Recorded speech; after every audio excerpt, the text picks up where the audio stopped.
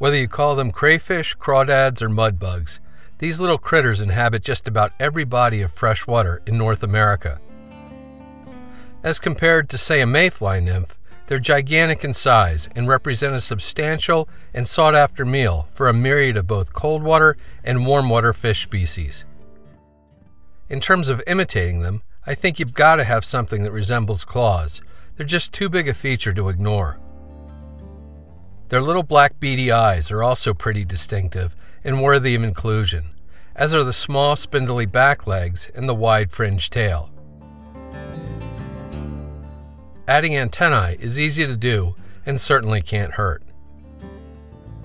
So, with all that said, here's my interpretation of a crayfish it's got claws, little eyes that actually rattle, antennae, a realistic multicolored body, and a wide flat tail.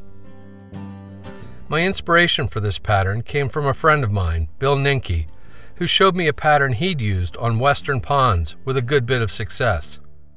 What really caught my attention with Bill's pattern was its hook, made by the folks at Do-It, who are probably best known for the wide variety of molds they produce. They have a large, size 2 hook that works well for bass, but for trout patterns, I like the smaller size 6. Start by mashing the hook barb. For weight, I'm going to use a 5 32 inch black nickel bead, which I thread small hole first onto the hook. Once you've got the hook firmly secured in your tying vise, make sure the bead drops all the way down to just behind the hook eye. For a little extra weight and to stabilize the bead, I like to use .02 round lead-free wire. 8 to 10 wraps is about all you need. Apply a small drop of superglue to the hook shank behind the bead and then slide the wraps forward and down toward the eye. This should firmly lock the bead in place. For thread, there's no reason not to use something a little heavier, like 140 denier UTC in light olive. Start your thread on the hook shank immediately behind the weight and take wraps rearward before snipping or breaking off the tag. Continue taking wraps all the way back to the hook bend. For claws, particularly on smaller imitations, I really like Zonk Pine Squirrel. It's nicely marked and comes in a wide range of colors. Here, I've chosen a brown olive, which closely matches the color of most of the crayfish I see here in New Jersey. With the fur angled rearward, measure to form a segment from the front of the hook eye back to the bend. Separate the hair on the hide and then snip off the measured segment. Repeat the measurement and cutting process again to form a second segment equal in length to the first. Get hold of the two pieces so the fur is pointed rearward and the hide sides are touching. Place the two pieces on either side of the hook shank and take thread wraps to secure them there. The idea is to sandwich the shank between the two hides and secure it with wraps of tying thread all the way back to the hook barb. Once you get the pine squirrel completely secured, advance your thread up the shank to just behind the weight. In the end, the pine squirrel strips should be equal in length and the hide sides should face inward towards each other. A 4 inch long thin cable tie is what gives this pattern its name. Make sure the tie you use has little ridges all the way up to the receptacle so it can really close down tight. Insert the tab end of the cable tie into the receptacle and draw the form loop closed, but not all the way.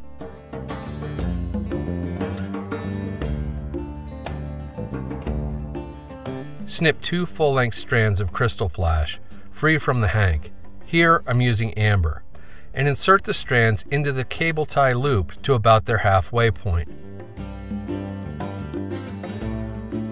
A micro-sized Pyrex fly rattle is used to form the eyes of the crayfish. Insert a single rattle into the cable tie loop along with the Krystal Flash and then continue to close the loop until it's tight around the rattle. This will hold both the rattle and the Krystal Flash firmly in place. Use a black permanent marker to blacken both ends of the rattle so they resemble eyes. Separate the pine squirrel claws and lay the cable tie over top of the hook shank with the receptacle and eyes hanging down a little ways behind the bend. With your thumbnail, mark where the wire wraps begin.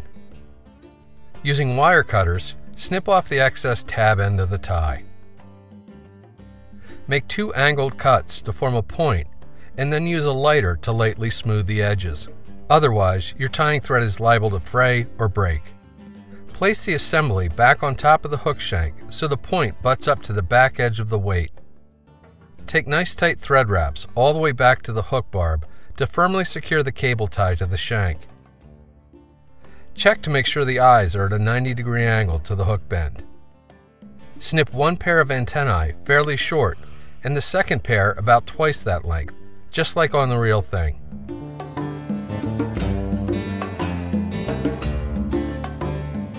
Apply a liberal coating of superglue all around the flat part of the cable tie, and then follow that with a couple of open spiral layers of tying thread. The remainder of the fly is formed with the soft hackle feathers found on a Whiting Farms Coq de Leon soft hackle with chickabou pelt. These are available in a wide range of colors. Here, I'm going to go with a speckled golden olive to complement the color of the claws. Select a single soft hackle feather and pull it free from the skin. Strip off the lower fuzzy fibers and then pull the remaining lower fibers down to expose the feather's tip.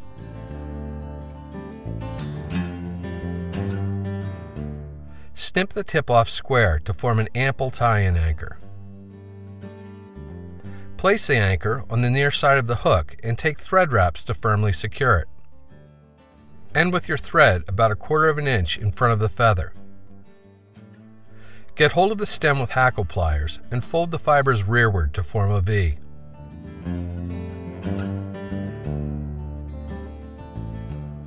Once you have most of the fibers pointing back, begin wrapping the feather in an open spiral up the hook shank, preening the fibers rearward as you go. When you reach bare stem, secure it with two or three turns of tying thread, and then reach in with the tips of your scissors and snip the excess stem off close. If you need to, take a few thread wraps at the base of the fibers to coax them into pointing rearward. Repeat the feather selection, preparation, tie-in, folding, and wrapping sequence several more times until you reach the tip of the cable tie. In preparation for tying in the tail, advance your thread all the way up to right behind the bead. Pull two neighboring and equal sized soft hackle feathers free from the skin. With the dull sides of both feathers facing you, align their tips and pull the lower fibers down to expose about a half inch of the tips. With the dull sides still facing you, place the stems against the hook shank and take thread wraps to secure them. You can then bring the feathers up to the top of the hook shank and gently pull them under the thread wraps to lock them in a curving upward position like so. Once you're satisfied with their orientation, take a few more thread wraps to absolutely lock everything in place and then snip the excess stems off close. Prep one more soft hackle feather as before, then fold and wrap it in the same manner as the previous body feathers.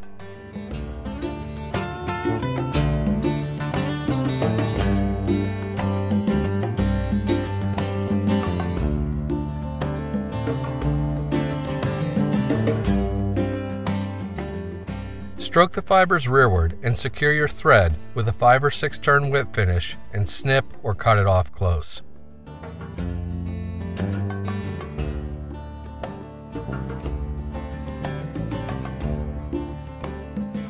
Help the fly ride correctly and land flat on the bottom, snip out a narrow strip of fibers from over top of the cable tie.